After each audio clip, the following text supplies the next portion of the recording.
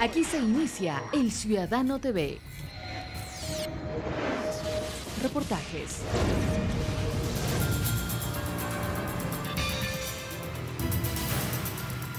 Noticias. Entrevistas. El Ciudadano TV es la imagen del gobierno de la Revolución Ciudadana. Bienvenidos.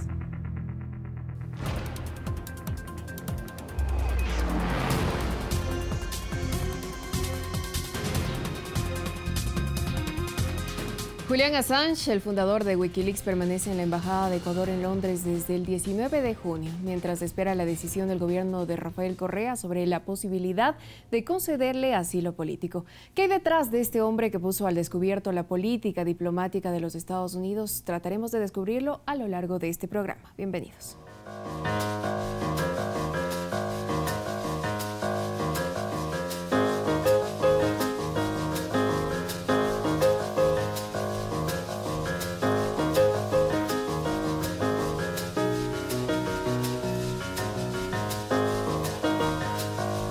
Estudiantes, artistas y personas relacionadas con movimientos sociales se han expresado a favor de Julian Assange. Entre ellos destacan los cineastas Michael Moore, Oliver Stone y Danny Glover, el intelectual Noam Chomsky o las escritoras Noami Wolf y Jemima Kang. Son algunos de los 5.000 firmantes que urgen al presidente de Ecuador, Rafael Correa, a conceder el asilo al fundador de Wikileaks, Julian Assange. Miremos un video que recoge brevemente el porqué del impacto que han causado los cables diplomáticos cables de Wikileaks fueron usados por los medios de comunicación mercantilistas cuando de afectar al gobierno se trataba.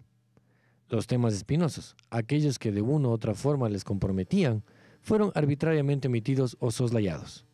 Nadie habló de la participación de connotados colegas como fuentes de la Embajada de Estados Unidos en Ecuador.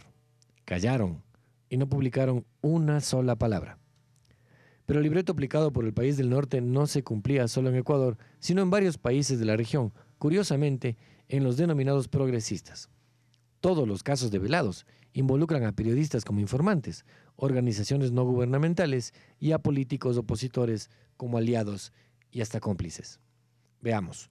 Los autores del libro Wikimedia Leaks, Sebastián Mancusa y Martín Becerra, desnudaron con su obra uno de los mayores hitos del periodismo de investigación en la región, la constancia indiscutible de la injerencia de Estados Unidos en países como Ecuador, Argentina, Bolivia, Venezuela, bajo las mismas matrices y similares lineamientos y estrategias.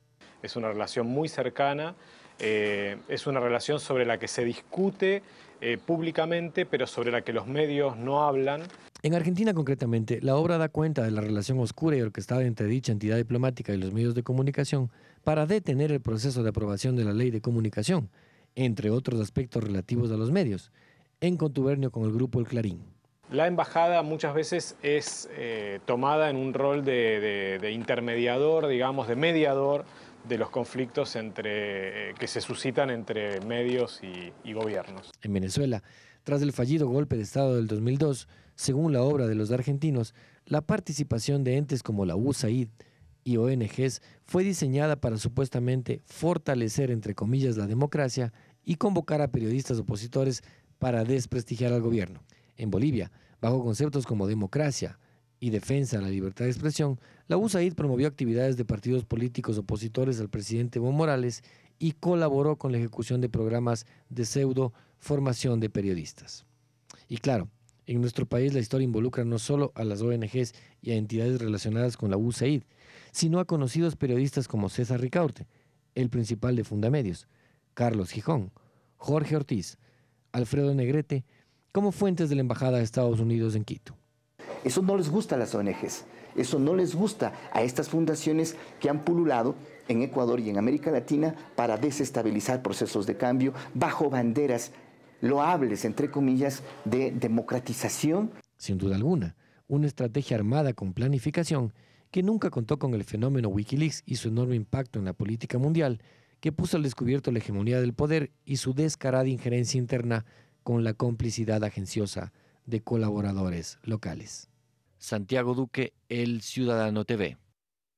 Y para hablar sobre este tema y todas sus aristas, damos la bienvenida a Marco Villarruel, destacado comunicador social, ex decano de la Facultad de Comunicación Social, doctor en Ciencias Internacionales por la Escuela de Ciencias Internacionales de la Facultad de Jurisprudencia de la Universidad Central del Ecuador. Alexis Ponce, defensor de los derechos humanos hace 23 años, vocero de la Asamblea Permanente de Derechos Humanos, APDH, del Ecuador desde 1991 a 2007, director de la Oficina de Derechos Humanos del Tribunal de Garantías Constitucionales, subsecretario social de la CENAGUA en 2011, además asesor de Derechos Humanos del Secretario Nacional del Agua en 2011, entre otros cargos. Walter Enríquez, exdecano de la Facultad de Jurisprudencia de la Universidad Central del Ecuador. Bienvenidos todos. Doctor Marco Villarroel, iniciamos con usted. Veíamos que eh, los Wikileaks han causado gran revuelo, sobre todo en el concierto eh, internacional en cuanto a comunicación social. Usted como periodista, como comunicador social, ¿cómo mira la revelación de miles de cables diplomáticos que dieron cuenta del verdadero accionar de la diplomacia estadounidense? Efectivamente, la irrupción de esta nueva forma de comunicación, que es el haber podido entrar a los archivos secretos de una gran potencia, y a través de las nuevas tecnologías hacerlas conocer en una parte a todo el mundo. Eh, representan un hito en la historia de la comunicación social y en la actividad profesional de un periodista eh, formado como tal, que es el señor Assange. Eh, representa también el, el, descubrimiento o la denuncia de la, de la diplomacia secreta, a partir de lo que se hace en las embajadas de las grandes potencias y en este caso no solo de los Estados Unidos. Representa además el extraordinario poder que tienen los medios, que tiene la comunicación en, el comportamiento de los gobiernos, de los líderes y también en la conformación de la conciencia ciudadana en, en, todos todas partes. Eh, Wikileaks es un tema importante en lo que tiene que ver con la libertad de expresión, con el derecho a la comunicación con todas y cada una de las facetas que esto podría tener. Por ejemplo, eh, pudimos conocer eh, la, forma como se trató la invasión a, Irak, los terribles problemas de Afganistán, eh, cómo las embajadas permiten la violación de los derechos humanos en terceros países por parte de las potencias, pero también cómo la información puede ser vendida, puede ser manipulada, puede ser expuesta según los intereses eh, económicos, según los intereses geopolíticos. Es decir, aquí es un tema de libertad de expresión, es un tema de las nuevas tecnologías, es un tema de la soberanía, es un tema también de, la, del, despertar de la conciencia ah, anticolonial de muchos países. Eso es lo que representa en este momento el, advenimiento de esta nueva forma de comunicación, que ha traído una cola muy grande. No es solo el asilo del señor Assange, es también la prisión de un soldado norteamericano que está seguramente condenado de por vida. Está también el papel que cumplen los grandes directores de los medios de comunicación, porque compraron Wikileaks, el señor Assange vendió a, los, cinco grandes medios en el mundo que no publicaron todo. ¿Qué es lo que no se ha publicado? Según el acuerdo que el señor Assange ha dicho, se publicará solo aquello que no eh, represente el peligro a la vida de agentes, lo cual es gravísimo, y a terceras personas. Pero hay muchos secretos todavía. No olvidemos que el señor Assange vendió Wikileaks a algunos grandes medios del Ecuador y los vendió también al diario El Telégrafo, con lo cual significa que todavía hay mucho material por conocer.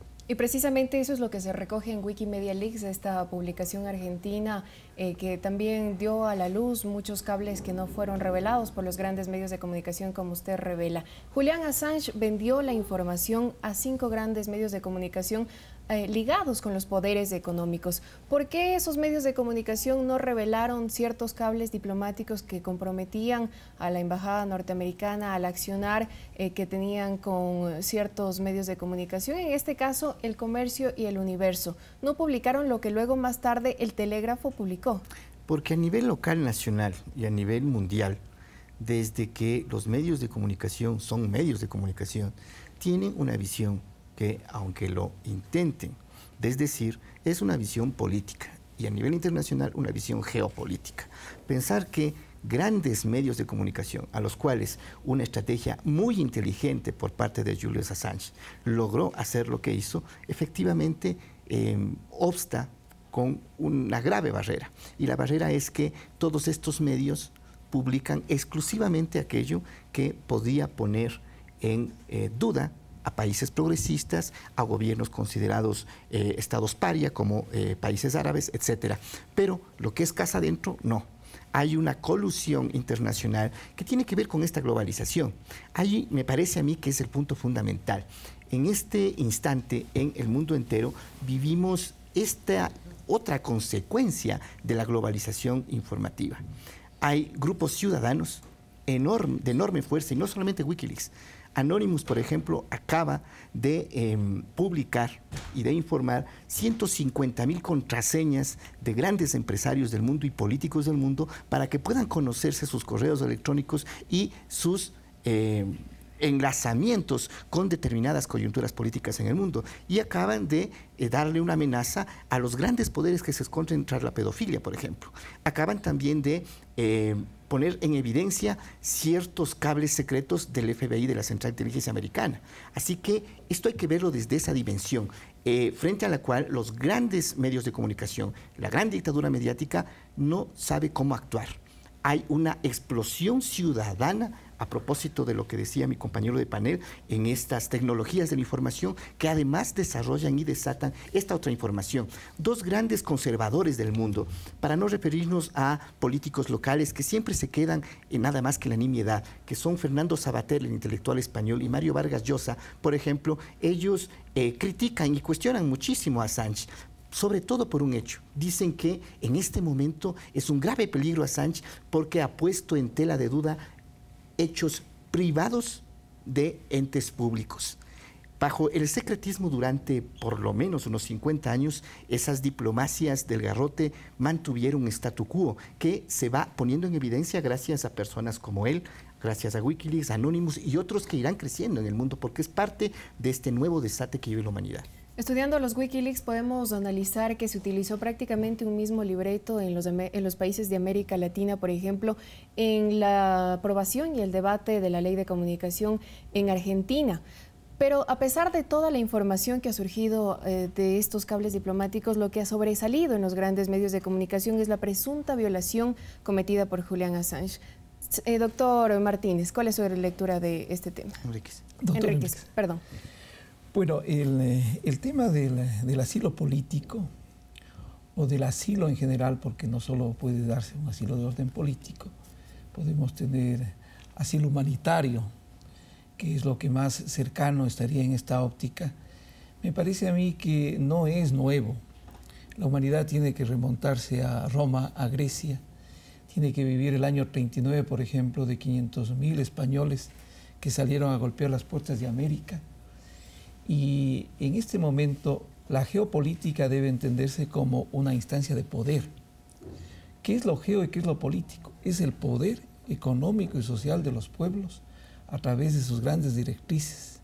Es decir, donde la utopía de la democracia, como diría Galeano, que nos conduce a caminar, pero que no terminamos la caminata, está revelándose hoy en, diáfanamente en la comunicación social. Y esta comunicación social no solo en el señor Assad, sino que en el mundo entero ha tenido un sacudón extraordinario con la electrónica.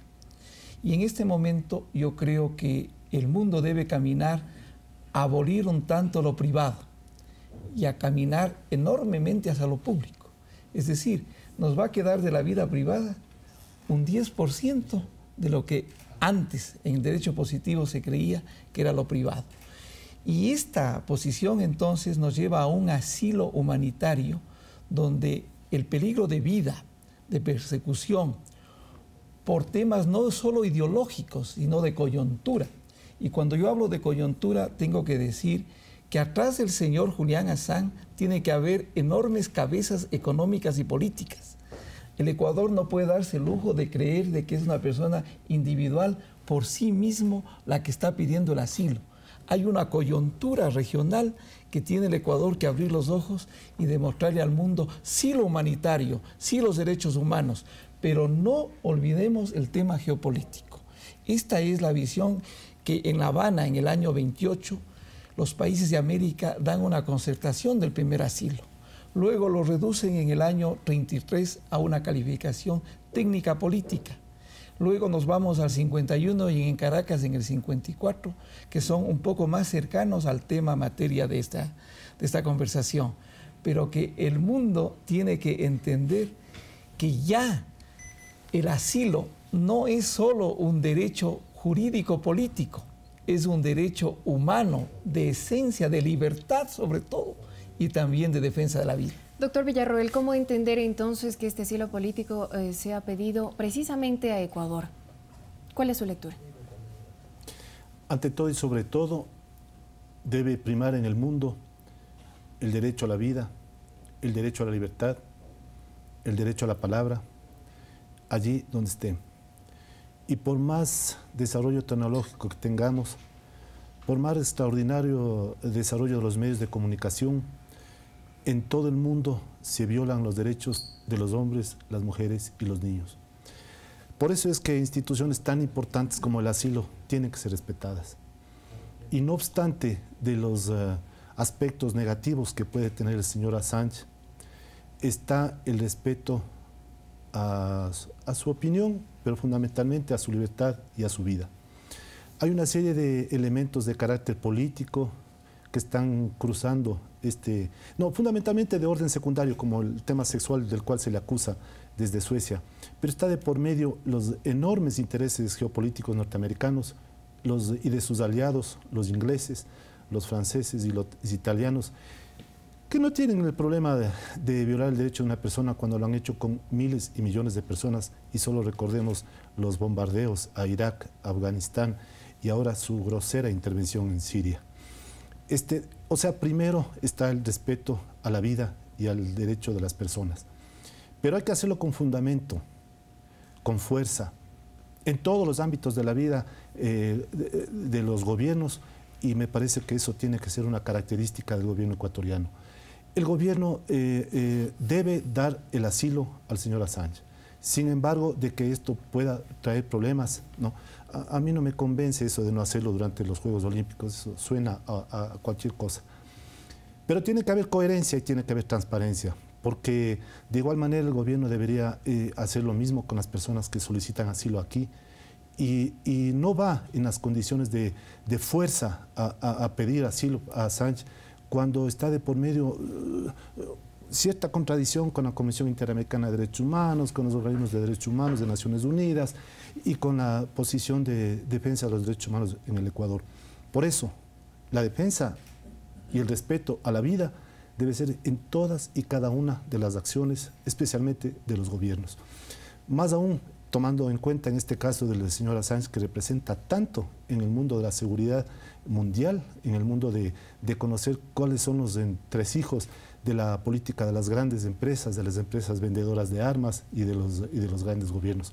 De esta manera el asunto hay que decirlo con claridad con claridad. América Latina se ha caracterizado por tener toda una doctrina sobre el derecho del asilo y el Ecuador no puede eh, eh, dejar de lado eso y por eso pelear por el asilo del señor Assange, así como abre sus fronteras al refugio a, miles de eh, eh, hermanos colombianos y hermanas colombianas que están aquí y lo puede hacer también con personas perseguidas en cualquier país de América Latina.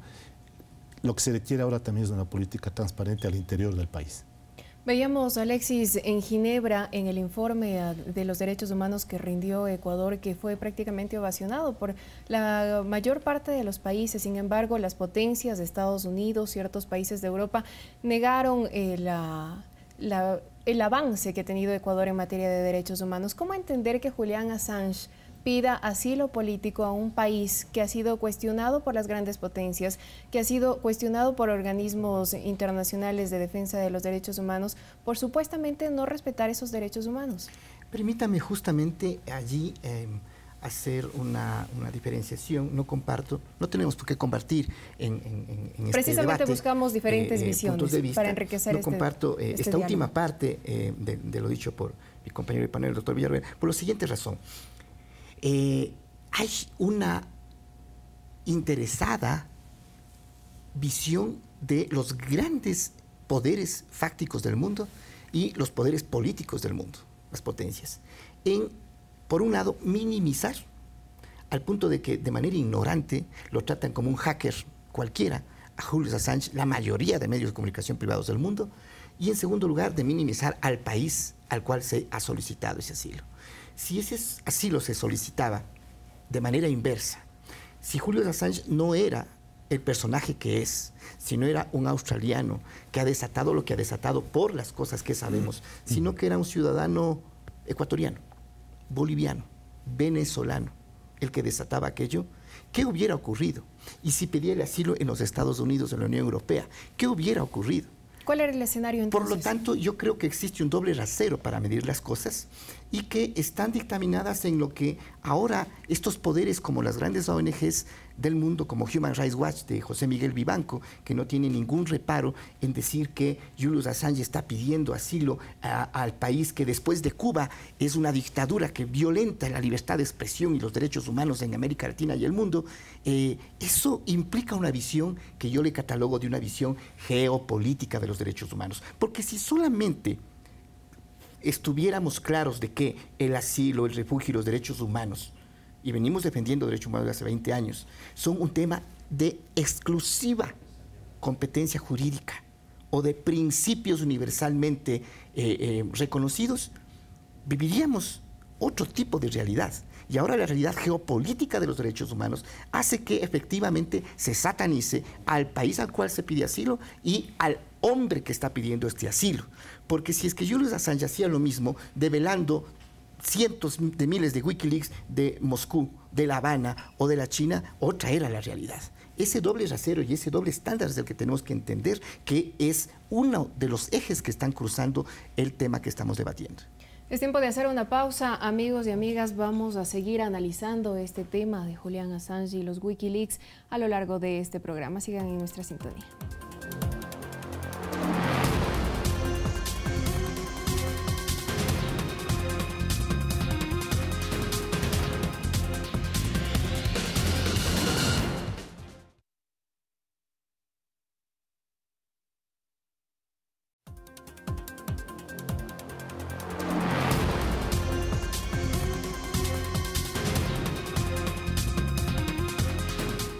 Habíamos dicho, el pedido de detención de Julián Assange por presunta violación fue una de las primeras reacciones sobre la difusión de los cables conocidos como Wikileaks Affair. La demanda contra el enemigo público número uno del Pentágono aparentemente consta de cuatro puntos. No haber llamado por teléfono a la joven, al día siguiente de haber copulado con ella, haberle pedido que le pagara un boleto de autobús, practicar sexo sin condón y dos encuentros amorosos en una misma semana con cada una de ellas. La legislación sueca es particularmente rigurosa sobre el tercer punto. Doctor Walter Enríquez, coméntenos al respecto.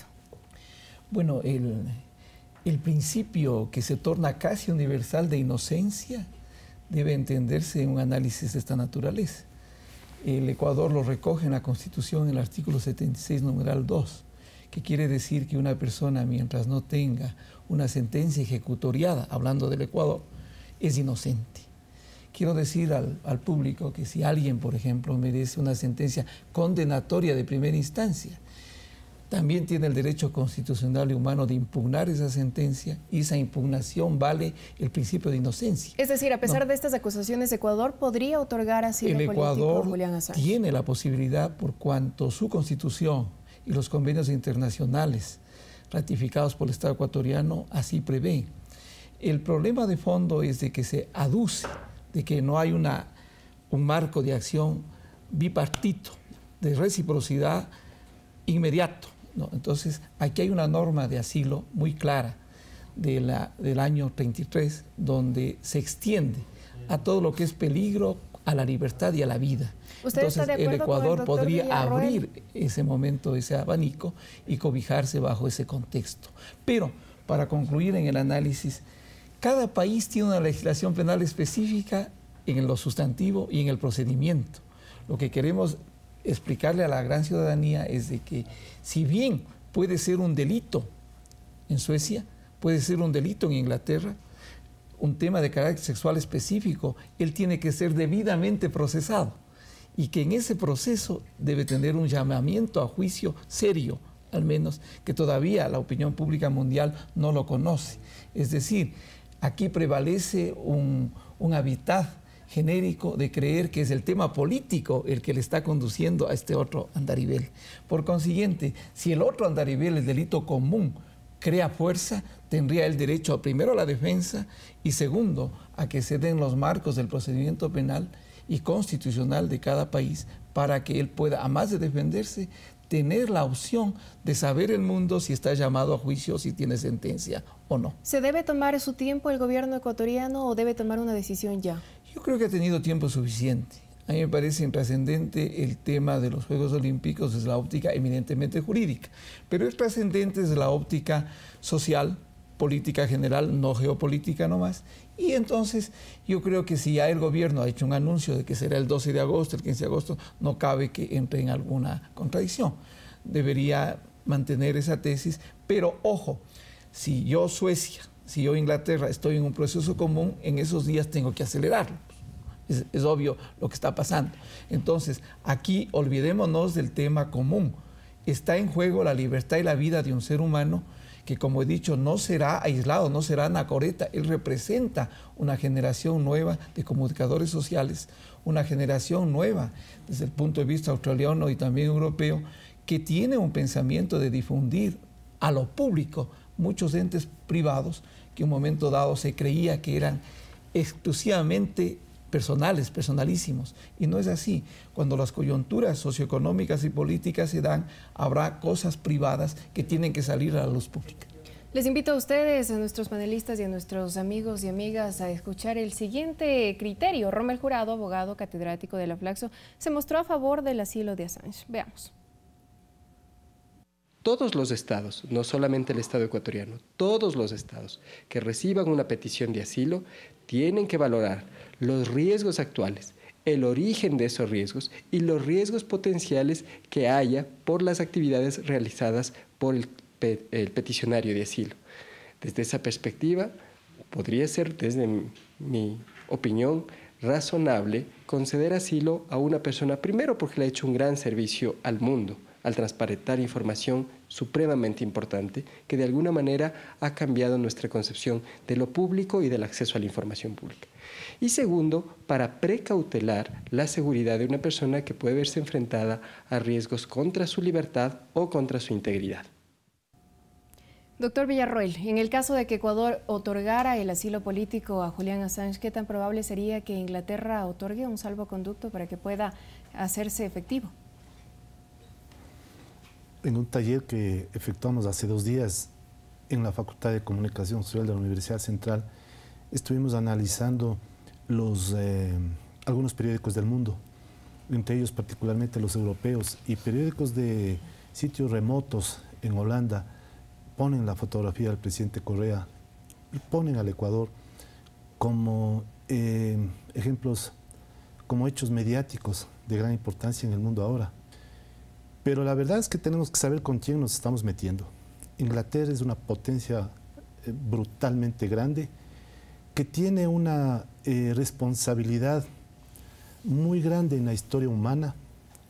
Hablemos que Inglaterra es eh, quizás la primera gran potencia colonial, colonialista del mundo y que va a tener muchas cosas que decir antes de permitir que el señor Assange ponga un pie fuera de la Embajada del Ecuador en Londres. Eh, Inglaterra, que para sus intereses dio asilo a millones de personas de sus colonias, que les permitió ir a Inglaterra. Ustedes habrán visto estas tomas de los Juegos Olímpicos de la multi eh, variedad de, razas, eh, etnias que desfilan en las calles de Londres. Hace parte de una política particular, utilitaria, que tiene que ver con la naturaleza capitalista del régimen inglés. Inglaterra tiene una historia muy larga en lo que tiene que ver a la jurisprudencia, al derecho, particularmente al asilo. Eh, me parece que el Ecuador debería ir con fuerza, porque es muy posible que Inglaterra no le dé. Entonces es el momento de las negociaciones, de las negociaciones eh, transparentes, no de la diplomacia secreta que incluso está en los Wikileaks, sino de decir, miren, en el Ecuador nosotros tenemos toda, todo el derecho de, solicitar asilo a la señora Sánchez porque en, Ecuador respetamos los derechos y porque somos eh, parte de una corriente latinoamericana que ha significado el, refugio de tantos perseguidos políticos en toda América. En este momento hay conflictos de, asilo, en Colombia con Venezuela, de Uruguay con Chile, de Chile con Argentina, de, Honduras, de Nicaragua. Hay una gran cantidad de, casos relativos a la vigencia del derecho del asilo. Y por lo tanto, eh, ¿qué hacer si es que el señor, la reina de Inglaterra o su primer ministro de tendencia absolutamente conservadora niegan el asilo? es el momento de que el Ecuador denuncie y esta, esta actitud colonial, esta actitud que, obedece fundamentalmente a los intereses norteamericanos, porque la gran alianza Estados Unidos-Inglaterra se aplica en todos los órdenes, acordémonos de las Malvinas, pero también es el momento de mostrar con claridad al mundo de que en el Ecuador sí se deben respetar los derechos humanos. ¿Qué hacer frente a una posible negativa de Inglaterra, Alexis? El presidente de Ecuador y el canciller Patiño también han dicho que se tomará una decisión soberana y que eh, aspiran que esa decisión no afecte de ninguna forma las relaciones diplomáticas entre Ecuador, Estados Unidos, Ecuador Inglaterra. Por supuesto que sí, y esa posición es además altamente comprensible. Creo que esos escenarios irán midiendo a medida de que aparezcan, porque, porque pueden ser múltiples escenarios un escenario, por ejemplo, y que no es jurídico, pero que acontece siempre en el mundo, mi querido doctor Enríquez, y usted sabe más que nadie este tema. Y lo mismo tú, eh, mi querido Marco, por el tema de lo que ahora se conoce desde el nacimiento de la guerra antiterrorista en el año 2000, el secuestro en aeropuertos y en aviones. ¿Por qué no esa figura? ¿Sí? El país concede, el otro le dice sí y le capturan en pleno vuelo. ¿Por qué no? ¿Estamos viviendo un régimen de derecho en el mundo? No. Vivimos en este momento una ruptura, y por eso quiero insistir, una ruptura casi epistemológica en derechos humanos, entre una visión del norte y una visión del sur, una visión en torno a la comunicación con el aparecimiento de Assange. Y yo creo que otro escenario que no estamos midiendo, no nosotros, sino ellos, las grandes potencias, es que Julius Assange es apenas la punta del iceberg vendrán muchísimos Julius Assange porque es parte de la nueva dinámica mundial, planetaria, de democratización desde abajo, de la ciudadanía, del uso de las tecnologías de información para develar lo que los grandes medios privados no han develado nunca. Y así que sí considero totalmente lógico que en, esa, en ese mismo escenario se presenten las solidaridades del otro mundo, pues, del mundo de los países no alineados, de los tercermundistas, de los pueblos del sur, en relación a este tema de la institución del asilo. ¿Por qué? Porque como no es este tema exclusivamente eh, jurídico y es, tiene una, una beta geopolítica, allí vamos a ver cómo los escenarios se van desenvolviendo para determinar inclusive otra verdad que no se está diciendo, y es el miedo y el terror que tienen las élites locales a que este fenómeno Assange implique también la reproducción, porque yo veo todos los días cómo hay una simpatía enorme de los jóvenes que usan tecnologías de la información por esta iniciativa y este hombre. ¿Cómo acá se tendría miedo a que vaya decreciendo ese poder mediático privado y crezca ese poder juvenil de uso de las informaciones, de uso de las tecnologías para ir democratizando comunicación, pero también para ir poniendo en evidencia todo lo que ocurre alrededor. De allí que la gran eh, lección que nos acaba de dar el segundo representante de las Naciones Unidas para los Derechos Humanos, cuando dice que España, en su gran crisis actual, que es otro país del norte, otro país de Occidente, debe hacer lo que está haciendo el Ecuador. Ese es el marco estructural ahora de lo que son los derechos humanos ya en esta, en esta simple eh, eh, eh, división entre derechos humanos del occidente y del oriente, no, ahora tenemos esta otra divisoria común y es que en esta visión anglocéntrica, en esta visión eurocéntrica, es muy posible que tengan posturas autoritarias, posturas que develen su irrespeto al asilo, pero más allá de esto ya es indetenible en el mundo el fenómeno Assange. Doctor Enríquez, desde el punto de vista de la soberanía, ¿cuál es su lectura del pedido de asilo político de Assange a un país que se atrevió a eh, decirle no a la base de Manta, a la base norteamericana? Bueno, yo creo que el, Ecuador ha ido caminando desde que se, se dio paso a la base de Manta, hubo un cuestionamiento y como bien ha dicho Alexis y el doctor Villarruel, la ciudadanía ha jugado un papel trascendente. Entonces eh, llegó un momento en que el Ecuador pudo negociar ese retiro a base de manta, absolutamente limpio ese retiro, sin mayor problema. Hay consecuencias porque las cosas no se cierran y se abren de manera automática. Siempre hay enlaces y estamos viviendo hasta este momento, por ejemplo, se cree que parte de la delincuencia internacional, este tema de las avionetas de México, etcétera, tiene que ver por una falta de comunicación que sí existió en su momento, supuestamente con la base de Manta. Pero la soberanía es un tema de acción, no es un tema declarativo de la ley. Yo creo que el Ecuador ha dado visos de soberanía en varios momentos históricos, no solo con el presidente Correa. Entonces, a mí me parece, en Punta del Este, por ejemplo, ¿no? a mí me parece que el Ecuador en este punto tiene un camino jurídico muy simple, entregar un asilo provisional ¿no? y conceder una opinión pública mundial, una consulta, por ejemplo, al alto comisionado de, de las Naciones Unidas sobre el tema, podría ser un aval que sume, como ha dicho Alexis, voces. ¿no? Y las voces tendrán que oírse de todos los confines de la tierra, porque aquí este personaje no ha hecho nada nuevo. Lo que le ha dicho al mundo es lo que todo el mundo sabía. ¿no? Era una muerte anunciada del Gabo. ¿no? Era un mundo existencialista de la suerte estechada de Albert Camus, de Jean Paul Sartre. O sea, el, el tema era clarísimo. ¿no? Pero ya como está claro ante el mundo, entonces es un enemigo en potencia que su eliminación puede ser inminente. ¿no? Porque el momento en que va a un país a ser juzgado donde hay pena de muerte o cadena perpetua, la situación cambia radicalmente. Precisamente, ¿qué pasaría ¿no? si es que es extraditado a los Estados Unidos? Tiene su riesgo, tiene su riesgo su vida y su libertad, ¿no? Tiene su riesgo. Tampoco nadie garantiza que en el Ecuador tenga una, una circunstancia totalmente de, salvedad, porque los procesos incluso de los delitos comunes que tiene que enfrentarlos seguirán, ¿no? y un momento dado puede haber sentencia. ¿no? Entonces el Ecuador yo creo que tiene varios escenarios. A mí me parece que el Ecuador está demorándose, ¿no?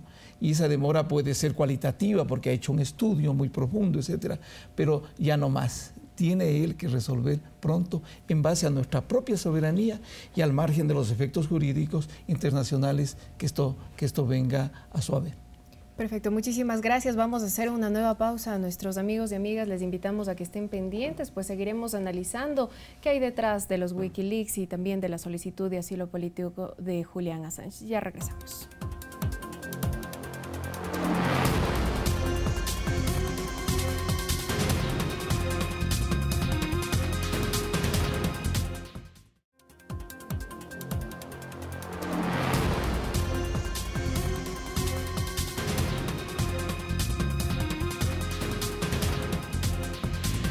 Estamos de vuelta. Hay quienes aseguran que Wikileaks tiene las características de un proceso de disidencia manufacturada que busca exponer mentiras gubernamentales. Ha filtrado información de crímenes de guerra de Estados Unidos, pero una vez que el proyecto ha sido vertido en el molde del periodismo corporativo, es usado como un instrumento de desinformación. Le queremos preguntar al doctor Villarroel, ¿qué opina al respecto?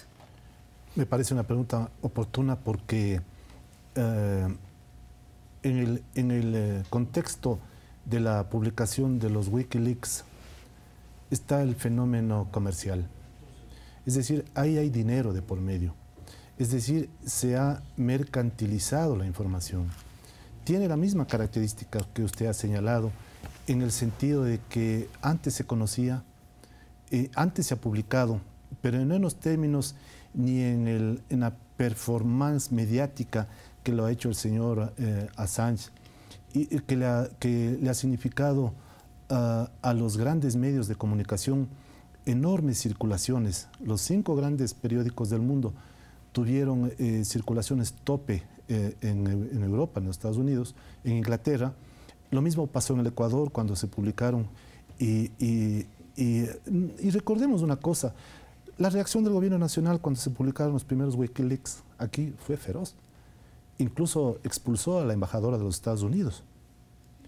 Pero cuando vuelve el señor eh, Assange, tal como se ha dicho, no conozco a profundidad, a vender los Wikileaks al universo y al comercio y después al diario El Telégrafo, como que el sentido de, esta comercialización, porque veámoslo así, y en ese sentido está hecha su pregunta, tiene otra connotación política. ¿no? Es decir, ahora me son útiles y por lo tanto eh, los utiliza de esa manera. Lo que no hace sino develar el carácter eh, mercantil de la información, lo que no hace sino develar el, carácter monopólico de los grandes propietarios de los medios de comunicación. Esta, esta no es una situación que va cambiando, se, se, van moviendo los grupos mediáticos, pero en su, esencia, en su esencia siguen, y la lucha por la libertad de expresión eh, continúa. Yo me pregunto en este momento si estamos eh, recuperando la importancia de los Wikileaks y su denuncia que ha hecho de, la forma de administrar el mundo. Yo me pregunto, eh, y, y, ojalá Alexis me pueda ayudar, ¿cómo es posible que nosotros en el Ecuador estamos exigiendo la libertad de expresión y estamos controlando las direcciones IP del, del Internet? Como ustedes saben, hay una disposición de parte de la superintendencia que obliga a las empresas suministradoras de servicio a eh, entregar todas las direcciones IP. Esto está en franca contradicción con lo que ha dicho Alexis hace un momento con respecto a esto de la, de la, libertad de expresión que va en aumento en el mundo. Entonces, eh, eh, en la medida que la comunicación tal como está estructurada deje de apoyar a los grandes poderes económicos, deje de ser en sí mismo una mercancía que tiene un valor en el mercado y, y se preocupe en, el marco de, un, de una aspiración total de la humanidad, los medios de comunicación se transformen en vehículos de paz, de solidaridad, de progreso y de derecho, es parte, eh, digamos, de, lo que estamos señalando con respecto a lo que ha hecho el señor, el señor Assange. Entonces, es parte de la lucha de los pueblos por la libertad de expresión. ¿El escenario que narra el doctor Villarroel pone en riesgo la libertad de expresión, Alexis? A ver, yo creo que hay una dictadura en contra de la libertad de expresión desde hace muchas décadas atrás y es la dictadura mediática. Las grandes corporaciones mediáticas en el Ecuador y en el mundo que nos han confiscado un derecho dieciochesco del siglo XVIII, eh, ¿sí? surgido a, a partir de la Revolución Francesa, que precisamente porque surgió con un enfoque eurocéntrico, se malentendió o se sobreentendió que libertad de expresión era libertad de empresa o libertad de propiedad, ¿cierto? Por lo que desde allí surge quizás la necesidad de aclarar que el fenómeno Assange, insisto, no es un fenómeno exclusivo de él. Hay muchos Julius Assange hoy en el mundo. No es solo Wikileaks, Julius Assange. Yo invito a nuestros ciudadanos a que por el Internet vean Rusia Today, vean El Mundo de Mañana, que son las entrevistas que él está realizando a grandes personalidades del mundo, entre ellas precisamente al presidente de la República, ¿sí? Y que tienen que ver con esta nueva modalidad periodística, que va más allá de, esos, em, de esas camisas de fuerza impuestas por la dictadura mediática. Ahora, yo sí creo de que las reacciones del Ecuador hasta el día de hoy, y lo serán, sin ninguna, sin ninguna duda, serán fundamentadas en la soberanía nacional en lo que ha expresado el jefe de Estado y que estamos absolutamente convencidos de que lo expresará. Pero volviendo al tema, creer que Julius Assange ahora es un agente de la CIA o que está el tema comercial, yo con un ejemplo demasiado gregario, demasiado nuestro, quisiera que entendieran por qué se da este tipo de cosas. Y creo que por eso saludo a la inteligencia de Julius Assange. En el año 94 concluimos un grupo pequeño de defensores, un trabajo de un año de duración con un ex agente secreto del SIC, Hugo España, del caso eh, Restrepo, que develó las torturas de Rangasid, etcétera. ¿Qué nos respondieron los medios de comunicación privados a los cuales acudimos dos años para que nos den imprimiendo y nos den publicando? Nos dijeron, pero eso ya se sabía. Pero no lo decía pues un agente, esta especie de Wikileaks macondiano que lo teníamos en 94. Esperamos dos años para que una editorial después de hacer grandes esfuerzos por todo el país con el propio España y una cantidad de personas, Monseñor Luan Tobar, etcétera, que nos respaldaron para hacer una estrategia que es, me imagino lo que hizo Assange. Si él por sí mismo, a través del Internet, no logra publicar, nosotros lo que hicimos fue una estrategia para que Ecoavisa y otros medios privados coloquen comercialmente el tema. Claro, hubo por ahí voces que nos dijeron, se enriquecieron con el libro. Por supuesto que el tema no era exclusivamente comercial, pero que había que añadir esas estrategias para desandar ese gran lago de censura y autocensura impuesto por los medios para que ciertas verdades no se conozcan en el país de entonces. Hablando del mundo con mayor complejidad todavía, porque de por medio no solamente están los Diplo eh, Wikileaks, están también los Wikileaks que filtran las relaciones de poderes económicos, de transnacionales en el África, etcétera. Y ahora, por ejemplo, lo que acaba de eh, hacer la última pelea que hace Wikileaks, que es alrededor de las tarjetas de crédito en el mundo que intentaron eh, sancionarles para que no continúen con su movimiento económico que les permita eh, seguir su trabajo. Así que frente a esa complejidad yo creo que es fundamental el saber o el reconocer que el derecho de libertad de expresión y el derecho de asilo, sobre todo, es una visión geopolítica para los grandes estados y Afortunadamente, en el caso de Ecuador de Julius Assange, estamos asistiendo a una nueva etapa, a un salto que está dando la humanidad para, desde abajo, ir luchando por nuevas formas de acceso a esa comunicación. Doctor Villarroel, ¿cómo entender entonces el silencio de Fundamedios, el silencio de la Sociedad Interamericana de Prensa, organismos dedicados supuestamente a la defensa de la libertad de expresión, frente a Julian Assange, que supuestamente también ha tenido las mismas prácticas que los medios mercantilistas? Sí, buena pregunta. Habría que hacerles a ellos que están eh, este, expresando mm, públicamente y de manera estentoria su defensa de los derechos humanos y particularmente de la libertad de expresión y el derecho a, la comunicación. Si ellos eh, no lo hacen en cuanto se refiere especialmente al tema del derecho al asilo, lo hacen muy mal. Ellos deberían decirlo públicamente, así como lo hacemos nosotros.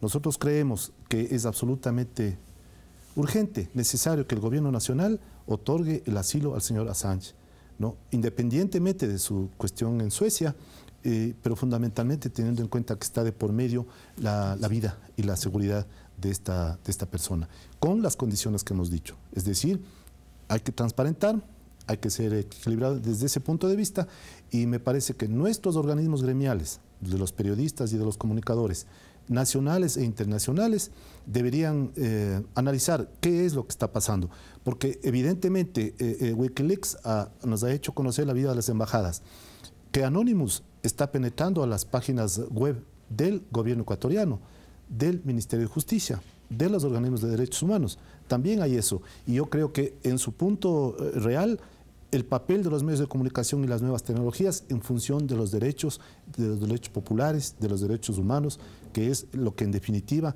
nos tiene aquí en esta, en esta reunión. Y precisamente sobre el silencio de ciertas agrupaciones de defensa de los derechos humanos y de la libertad de expresión, también se expresó Francisco Ordóñez, connotado comunicador social. Escuchemos. La UNP es un actor político actualmente dentro del Ecuador que está, eh, es un burropié, es, es, es, un ente que está ahorita para defender los intereses de los dueños de los medios de comunicación, que se ven afectados, que se ven amenazados en este momento porque está en ciernes una ley de comunicación que les va a quitar privilegios a esos dueños de los medios de, comunicación, ¿no es cierto? Entonces ellos están actuando políticamente, son un actor político. Entonces ellos no están defendiendo la libertad de expresión. Defender la libertad de expresión sería decir, a ver, eh, señora Sánchez, por favor, venga al Ecuador, aquí le vamos a proteger, ¿no es cierto? Eh, porque nos ha dado la posibilidad de, conocer una realidad, de conocer una verdad. Y además que, una verdad que, que es insultante contra nuestro país, ¿no es cierto? Entonces, eh, la ausencia de esos defensores, entre comillas, de la libertad de expresión es penosa, ¿no? Es penosa y les pone en el estado en el que realmente están, que es de ser un actor político defendiendo los intereses del patrón. Son un actor político defendiendo los intereses del patrón, decía Francisco Ordóñez. ¿Qué opina usted, doctor? Bueno, no hay nada nuevo en este, en este análisis porque en el año 38 el Ecuador dicta el Código del Trabajo y en el Código del Trabajo se establece el derecho a la huelga para los trabajadores y el derecho al paro a los empleadores. Y el mundo, no solo desde la óptica marxista, sino desde la óptica real, vive en una temática de empresa. Es decir, siempre habrá patronos y siempre habrá trabajadores, a menos de que se llegue a la teoría de Matriz Magistra, que era el obrero accionista. Entonces, de, esa óptica lo que tendríamos nosotros que decir es de que Wikileaks, del tema del señor Julián Assad, vendió o no vendió. Entonces, él vendió. Y él vendió como periodista, vendió como empresa, ¿cómo lo hizo? Y producto de esa venta, ¿qué es lo que pasó con ese dinero? Y el Ecuador compró o no compró a través de medios privados. ¿Y qué beneficio hizo? El beneficio es que salen grandes publicaciones, una, una gran venta. Pero no es ese el único tema. El único tema de fondo ahí es de que si esa venta fue lícita o no fue lícita. Yo creo que hasta el momento que el Ecuador compra, estamos bajo un mundo lícito. Todavía no le han iniciado un juicio pertinente respecto de la seguridad del Estado, por ejemplo, o un atentado contra la paz mundial. Entonces él ha hecho un negocio absolutamente lícito. Si los patronos de cualquier empresa llamada de telecomunicación o de comunicación le compraron, también hicieron un negocio lícito. Lo que en futuro se verá son las consecuencias, porque a mí me parece que el señor con los Wikileaks ha vendido apenas un 30%, hay un 70% que todo el mundo no conoce, y en ese 70% habrá que ver qué nomás sale. Alexis, ¿se puede esperar que César Ricaurte, Carlos Gijón, Alfredo Negrete, Simón Espinosa y Jorge Ortiz salgan a defender a Julián Assange, salgan a defender el derecho a asilo político, el derecho a su libertad de expresión? Es como intentar creer eh, otro imposible, que los propietarios de los medios de comunicación privados a los cuales eh, eh, pertenecen determinados sectores de poder de los Estados Unidos estarían contentos con el asilo. Es demasiado grave un hecho, y es que em, se debe reconocer que ya hay precedentes en los Estados Unidos. Eh, nuestro compañero de panel, el doctor Villarroel, hacía hincapié en el caso del soldado que hoy está candidatizado al Premio Nobel de la Paz por esa razón, que está precisamente procesado por ser inculpado de haber sido el que dio la información eh, al grupo Wikileaks y a, y Julius Assange. Y adicionalmente, el derecho a la vida y el derecho a la libertad, que son los dos grandes pilares de una solicitud de asilo en el mundo como institución, eh, ya tienen precedentes en casos de seguridad nacional con los esposos Rosenberg. Los esposos Rosenberg sufrieron un mamotreto de juicio haciéndoles pasar por espías soviéticos en la época de la Guerra Fría y fueron sentenciados a la silla eléctrica. Eso en un país democrático que tiene la pena de muerte incluida en su constitución y en sus leyes. Y también es el caso la libertad, por el mismo hecho del soldado que está siendo apresado hoy en día.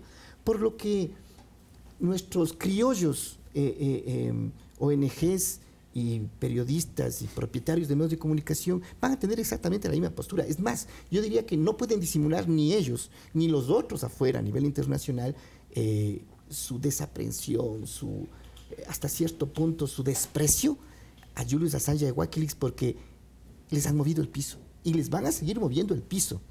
Yo no caigo todavía, no creo, eh, sería conjeturar demasiado que hay un 70% más. Lo que sí creo es que Anonymous, Wikileaks y todos estos jóvenes que van surgiendo en el mundo están llamados a seguir develando esas cosas que huelen mal en Dinamarca desde hace muchas décadas atrás. El presidente de Brasil, Lula da Silva, se expresó a favor de Julián Assange y también hizo un llamado a los países del mundo para que eh, respeten la libertad de expresión y defiendan con el asilo político que eh, Julián Assange está pidiendo a Ecuador. ¿Cuál sería su mensaje para las naciones suramericanas, en este caso desde el punto de vista sur-sur? Este, reflexionar acerca de la trascendencia de este derecho tan nuevo, tan contemporáneo especialmente por la influencia de los grandes, las grandes tecnologías, eh, eh, la libertad de expresión y el derecho y el acceso a la comunicación. Fíjense que en nuestro país acaba de acontecer un, hecho interesante, importante, eh, reflexionemos. El señor alcalde de Quito ha, resuelto cerrar su Twitter. Es tal el peso de lo que esos mensajes traen que ha debido señalar que con una, con, una eh, salida un poco diplomática, en el sentido de que es muy difícil administrar tantos mensajes, ¿no? No es eso. Es lo que esos mensajes traen, ¿no? Es lo que Wikileaks trae, es lo que la comunicación alternativa trae, es lo que eh, tantas, tantos blogs eh, nos, dan a conocer, tantas páginas web, tantos medios impresos tantas emisoras de radio en la ciudad y en el campo están luchando, están eclosionando un temperamento y una acción pro libertades, pro justicia, porque no estamos de acuerdo con la tortura, con la persecución, con la pobreza y con la miseria. a eso se refiere todo porque libertad de expresión necesitan los pueblos africanos, los pueblos asiáticos que viven en la pobreza como los nuestros. Ese es el marco conceptual de exigencia de los derechos. Hoy estamos hablando de los medios de comunicación, su importancia y su trascendencia. No estamos en un panel sobre temas económicos, donde también hay muchas cosas más, un panel sobre temas culturales, sino en el tema de la comunicación. Bienvenida a la acción del expresidente de Brasil y de todos quienes eh, eh, eh, estén mm, planteando la defensa de los derechos humanos y particularmente el señor Assange. Nosotros estamos con eso, creemos que hay que respetar el, derecho a, la vida y a la libertad de las personas. Y de cierta forma las redes sociales, los mecanismos de expresión a través de las webs, de los blogs que usted mencionaba, hacen frente también a esos monopolios mediáticos a los que diario nos enfrentamos todos los ecuatorianos, a, las, a los periodicazos llamados hace varios años, ¿no? cuando un periódico decidía marcar política desde sus páginas. Ahora vemos que los ecuatorianos de cierta forma, y no solamente los ecuatorianos, sino el mundo entero está rebelándose frente a esos monopolios de la comunicación a través de las redes sociales. Enhorabuena por eso. Muchísimas gracias por haber compartido este panel. Yo creo que ha sido importante para los ecuatorianos. Doctora, gracias. Su conclusión final, doctor que no debemos ver la, la, comunicación como temas excluyentes, sino integrales. Yo creo que no es malo que un momento una página de un editorial haya sacudido un gobierno. Es absolutamente bueno y positivo. Lo que tenemos es que integrar, como muy bien ha dicho el doctor Villarruel y Alexis, a la ciudadanía, que la ciudadanía desde abajo comience a caminar, que la telefonía que hoy nos imponen, por ejemplo, que se nos meten en el momento menos pensado y nos, y nos involucran con mensajes, nos permita avanzar en la cultura, en la educación, en el deporte, en la sociabilidad, de tal suerte que sea una nueva expresión, que esa libertad de expresión la vivamos realmente en el hecho material y no literal de la norma. Ese sería mi mensaje. Alexis. Em, considerar que el mundo está cambiando. Tenemos un cambio de época también en la comunicación. Tenemos un cambio de época en las relaciones entre norte y sur indudablemente, y tenemos un cambio de época también en lo civilizatorio, en donde este tipo de temas, yo tengo la profunda esperanza de que las generaciones actuales, las generaciones juveniles, trazarán nuevos caminos que seguramente no gusten a muchos, que seguramente den más de un escosor a los grandes poderes prácticos en el mundo, pero que están eh, llamados precisamente a ejercitar esa democracia, esa libertad y esos sueños por los cuales sigue peleando la humanidad desde hace muchos siglos atrás. Así es, Alexis. El gobierno de Ecuador se encuentra evaluando, como habíamos dicho, el pedido de asilo del señor Julián Assange y según han manifestado sus autoridades, cualquier decisión que adopte sobre el mismo tendrá en cuenta el respeto a las normas y principios del derecho internacional, así como la tradicional política de Ecuador de precautelar los derechos humanos. Sin duda, el mundo tiene sus ojos puestos en este pequeño país y serán los pueblos del planeta los que juzguen la decisión del gobierno de esta nación suramericana. Hasta la próxima.